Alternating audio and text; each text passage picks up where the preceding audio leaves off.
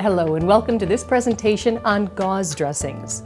This is one of a series of videos developed by WoundEducators.com in which we discuss and demonstrate different types of wound dressings. Gauze has been used as a wound dressing for centuries and continues to be the most readily available wound dressing in use today.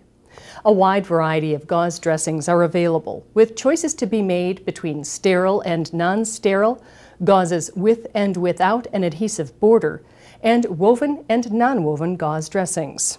Woven gauzes are manufactured from cotton yarn or threads and woven like fabric.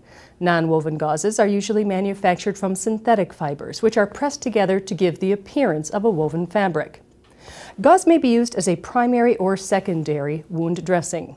Gauze remains popular largely because of its cost effectiveness in one-time or short-term use. However, as we'll see, gauze dressings have a number of drawbacks, and in most situations, a more effective alternative can usually be found. Gauze dressings can be used dry, moist, or impregnated with petrolatum, antiseptics, or other agents. The choice of product requires careful wound assessment, with the application continually monitored as the patient's condition changes. We will now look at how dry, moist, and impregnated gauze dressings are used. Dry gauze dressings are often used as the primary dressing for heavily exuding open wounds. In this situation, the gauze will wick away the exudate. Dry gauze dressings can also be used to protect a closed wound from additional trauma or infection. Moist gauze dressings are used to help maintain a moist wound healing environment. When moist gauzes are applied to the wound and allowed to dry out, they become known as wet to dry dressings. Wet to dry dressings are sometimes used for mechanical debridement. A moist gauze adheres to the necrotic tissue as it dries out, allowing the necrotic tissue to be removed when the dressing is removed. However, this method of debridement is not universally liked for a number of reasons. It is non-selective, meaning that the gauze may remove granulation tissue as well as necrotic tissue. The gauze often becomes embedded in dry exudate, making dressing removal painful. And finally, fibers from the gauze may be left in the wound, prolonging wound healing or causing infection. An impregnated gauze is infused with a substance that aids healing, such as an antiseptic, hydrogel, or a hypertonic saline solution. This type of dressing is used as the wound contact layer and requires a secondary dressing. Antimicrobial impregnated gauzes, such as silver-infused pads, are often used on burn victims to prevent bacterial infection. Hypertonic saline impregnated dressings are infused with sodium chloride, which wicks moisture away from wounds with excessive exudate. As hypertonic saline dressings depend on wounds' moisture to moisten them, they are not appropriate for minimally draining wounds or wounds covered with dehydrated slough or eschar. Gauze dressings can be used on both infected and non-infected wounds of any size, shape, depth, or etiology.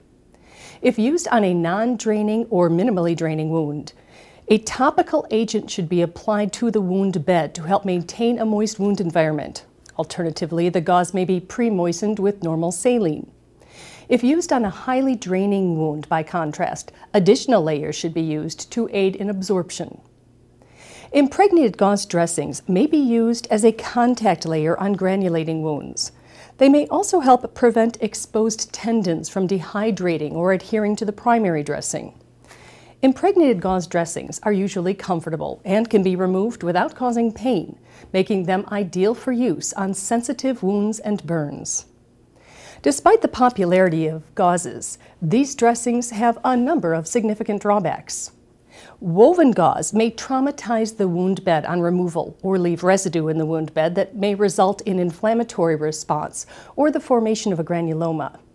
Finally, as gauze is highly permeable and relatively non-occlusive, gauze dressings may promote desiccation in wounds with minimal exudate unless used in combination with another dressing or topical agent. To learn more about moist wound healing and other key concepts in wound care, you may wish to consider becoming certified as a wound care specialist. The benefits of wound certification are immeasurable, both to your own career and to the standard of care that you can offer your patients. And because Medicare and other organizations are now holding healthcare professionals responsible for outcomes in wound care, there has never been a better time to become a wound care specialist. WoundEducators.com is dedicated to helping you take this all important step in your career and to help you handle any type of wounds you may encounter in your daily practice.